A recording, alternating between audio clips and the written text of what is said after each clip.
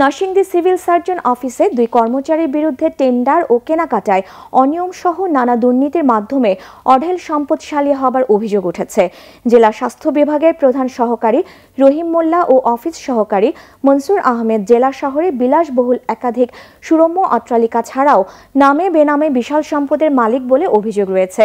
তদন্ত করে কঠোর ব্যবস্থা নেওয়ার আশ্বাস দিয়েছেন সিভিল সার্জন।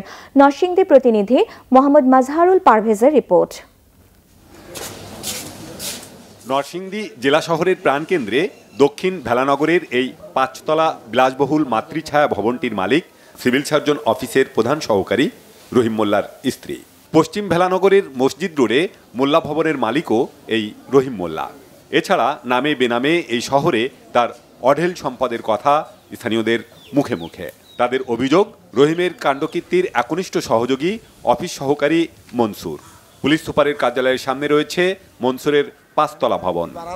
নরসিংদী সিভিল সার্জনের দুর্নীতির আখড়ার মূল হোতা হইল রহিম মোল্লা মুনসুর আলী আর হইল মুক্তার হোসেন স্টুকিবার তিনটা বাড়ি আছে আড়াই হাজার টাকা নিয়ে বেলানগর পশ্চিম পাড়া আরেকটা হলো বেলানগর খুব করা খুব পাতে আরেকটা বাড়ি হলো আড়াই হাজার। এখানে কিন্তু হইলে বিশাল পয়সাওয়ালা লোকের দরকার এবং মাসেন বাড়ির দরকার।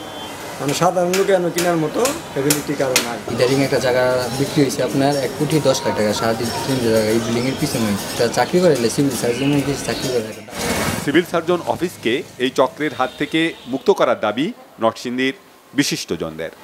মনসুর এবং রহিমুল্লাহ তারা প্রায় তিরিশ পঁয়ত্রিশ বছর একটি অফিসে তারা চাকরি করে। তারা নিজেরই নামে ব্যয় নামে ঠিকাদারি ব্যবসার সাথে জড়িত। অট্টালিকার কয়েকজনই এই ধরনের ঘটনা করছে এক ধরনের তিনটা চারটা করে বাড়ি ঘর বাড়ি করছে। এটা অত্যন্ত দুঃখজনক। সংবাদ প্রকাশ না করার অনুরোধ জানিয়ে নিজের পক্ষে সাফাই দিলেন রহিম মোল্লা। যে সময় কিনছি এগুলি তো তখন ইয়ে না সস্তায় কিনছি। যেমন একটা জায়গা কিনছি পঞ্চাশ হাজার একটা এক লাখ পাঁচষট্টি হাজার। স্বামী স্ত্রী দুই যাকে কিন্তু ছেলেরা কামাই করে বাড়ির থেকে। বেলনগরেরটা যে টিন শিট বাড়িটা যেটা কার? যেমন।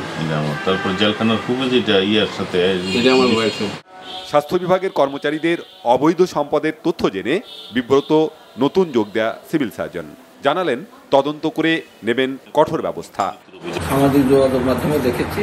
আমি বিষয়গুলো অবশ্যই দেখব। আমি গত এক মাস হলো যোগদান করেছি। দুর্নীতির লাগাম টানতে এই সরকারি কর্মচারীদের অবৈধ সম্পদের দ্রুত অনুসন্ধান চাই নরসিংদীবাসী। Bangla Vision news desk.